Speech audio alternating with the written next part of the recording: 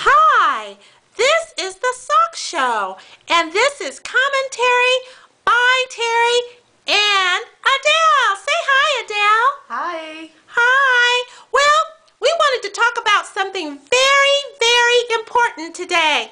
It's about foreclosures. Ah! Adele, can you shed some light on it for us?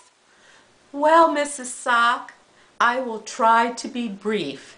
And the best way to do that is through a song. Okay. Freddie and Fannie are partners. Partners. That's how business works. Ah. Freddie and Fannie have screwed homeowners for the sake of more perks. More you perks. Know you're wrong. Them along. Stringing them along. And that's it in a nutshell, Mrs. Sock.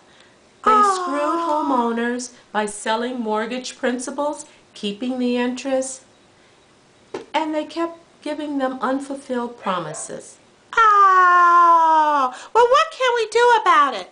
Well, you know what we can do? What? We can make sure that our congressmen and senators know the game is up. The jig is up.